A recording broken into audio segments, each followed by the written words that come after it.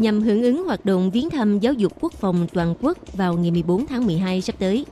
Bộ Quốc phòng vào ngày 12 tháng 12 đã cho tổ chức diễn tập huấn luyện hạ cánh đối với hai loại máy bay trực thăng hiệu số UH-60M và S-70C tại khu vực doanh trại Bắc Ái. Hoạt động viếng thăm giáo dục quốc phòng toàn quốc chủ yếu nhằm thúc đẩy phát triển quốc phòng, ngoài việc chứng tỏ năng lực sẵn sàng chiến đấu của lực lượng quân đội quốc gia, khả năng ứng phó khẩn cấp, còn có mục đích thiết lập sự tương tác tốt đẹp giữa quân đội và người dân.